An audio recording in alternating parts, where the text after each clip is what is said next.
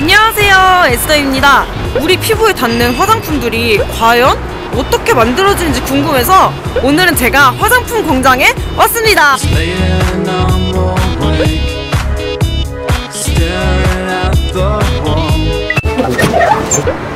연구원들이 여기서 막 제품을 이 제품 하나에 한 20개, 30개, 40개 원료가 들어가거든요. 걔네들을 막 섞어.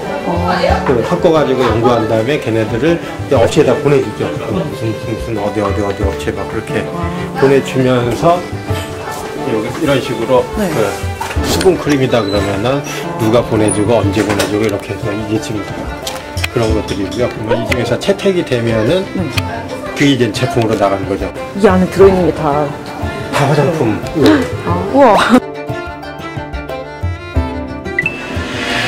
여기서는 이제는 화장품이 네. 유통을 하면서 이 안전해야 되잖아요. 오랫동안 보관도 하- 해야 되고 뭐 안전하고 뭐 그런 걸 해야 되잖아요. 그래서 네. 그 화장품 속에 들어있는 성분이 나쁜 성분이 있냐 그런 걸 체크하는 거. 아. 그다음에 또 하나는 화장품이 얼마나 오랫동안 유지를 할 수 있냐. 그러니까 2년이든 3년이든 그 오랫동안 유지할 수 있게끔 그거를 체크하는 그런 기기. 요거 같은 경우는 중금속, 그러니까 납이나 비소 같은 거를 측정하는 그런 기계고요. 우와. 인큐베이터라고 해가지고 온도가 40도, 50도, 40도를 계속 유지해요. 그리고 50도씨를 계속 유지해요. 그 안에 제품을 넣어놓으면은 분리가 잘 되든지 아니면 변화가 심할 거 아니에요. 저쪽 기계는 하루에 한 번씩 영하 10도에서 영상 50도까지 왔다 갔다 해요. 그런 상태에서도 안전한지 안 하는 거, 안전하지 않는 뭐 그런 거를 확인하는 그런 거. HPLC, GC 뭐 해가지고 성분이 어떤 성분이 들어있나 확인하는 거. 기능성 화장품에서 보면은 그 미백 성분이나 주름 방지 성분 같은 거 그런 성분이 있을 거 아니에요. 아니면 선크림 같은 경우에 자외선 차단제가 있을 거 아니에요. 그런 거를 체크하는 그런 기계. 되게 생각보다 과학적으로 만들어지는 것 같아요 그렇죠. 화, 그 화장품은 다 과학적으로 만드는 거지. 이거는 뭐예요? 요, 요거는 추출기. 그러니까 그 예를 들어서 식물에서 어떤 성분이 들어 있는지를 확인하기 위해서 식물 같은 걸 집어넣고 이게 끓여 계속 그 가온을 하면서 그러면은 요게 가온을 타면서 이렇게 올라갈 거 아니에요. 그러면은 뜨, 뜨거워진 게 이렇게 올라와서 이렇게 이렇게 이렇게 타고서 냉각이 되면서 이쪽으로 떨어지는 거죠. 그러면 이 속에 이제 농축이 됐을 거 아니에요. 그 떨어진 걸 가지고서 이 속에 있는 성분이 어떤 성분 이 있을까는 얘네들 기기로 그 거예요. 아 이건 기능성 화장품이다 이렇게 뻥치고서 뻥이라고 이좀 그러니까 그냥 이 거짓말로 하셔면 다 걸려요. 진짜 지하철에서 다 단속 나와서 다 표시 광고 위반으로 나와요. 과대 광고, 표시 광고 위반. 그래서 그거를 안 하려면 하나하나 정확하게 하는 거예요. 그 기능성 화장품 이러면 진짜 유익이 되는 거예요 그렇죠.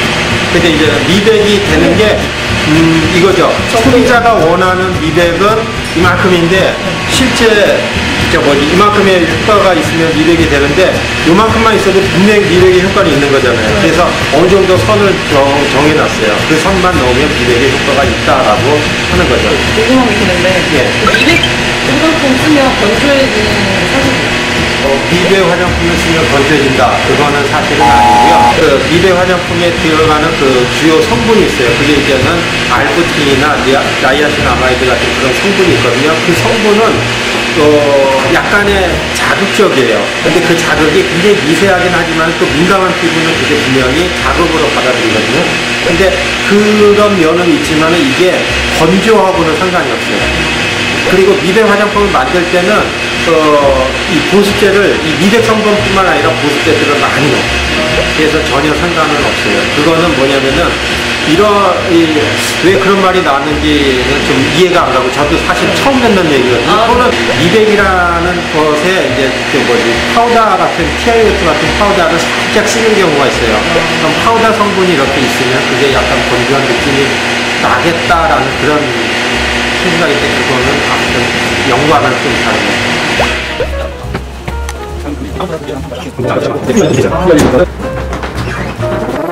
이게 이 제품을 만들려면은 제품 만들려면은 이런 서류들이 다 있어야 돼요. 측량하고 제조하고 그거에 대해서 실험한 거고 그래서 이 미생물도 체크하고 pH나 점도나 막 그런 것들을 다 체크하는 거. 그 다음에 이제 내용물 제조를 했죠. 그 다음에 완제품 포장을 포장한 거 몇 개가 나왔다, 몇 그램이 들어갔다, 뭐 그런 것들에 해당한 거가 또 완제품 시험 성적서 이렇게 돼야지 완제품이 하나의 완제품이 돼서 나가는 거죠. 여기는 표준서, 여기는 기록서. 이 제품이 이러이러한 제품으로 구성되어 있다라는 표준서. 얘를 기준으로 이제 이렇게 제품을 또 만들어요. 각자 이제 좀 다, 브랜드마다 다르게 만드는 거죠. 여기는 이제 미생물실이에요, 미생물실. 사실 여기가 제일 깨끗한 실이고, 그러면 1급이라고 돼 있잖아요. 네. 1급이라고 돼 있어서 이제 문도 잘 안 열려요. 이게 압이 저쪽에서 공기가 이쪽 바깥으로 나오거든요. 이게 열려고 해도 네, 약간 밀리는 정도로. 뭐 하시는 거예요? 미생물 제품에 네. 미생물이 있는지 없는지를 체크하는 거. 아, 네. 그래서 제품에는 미생물이 있으면 안 되잖아요. 네. 그거를 모든 제품이 나가는 것마다 다 체크를 하게 돼 있어요. 저는 그것만 바르면 얼굴에 뭐가 일어나더라고요. 소비자들 중에서 오해가 되는 것 중에 하나가 있어요. 맞아요. 굉장히 잘못된 인식이, 생각이에요. 네. 네. 그걸 쓰잖아요. 어떤 일이 벌어지냐면은 보통 따갑다고 하고 얼굴을 문질렀더니 지금 이 얘기를 아무리 얘기해도 마케팅 입장에서는 그게 그쵸, 그쵸. 안 통하는 얘기니까 그거를 맞아요.